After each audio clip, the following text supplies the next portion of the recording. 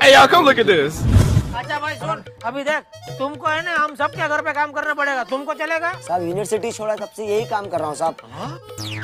University क्या पढ़ाई करते थे दोस्त? पढ़ता कौन था साहब? वहाँ के कैंटीन में मैं तो बर्तन घसता था।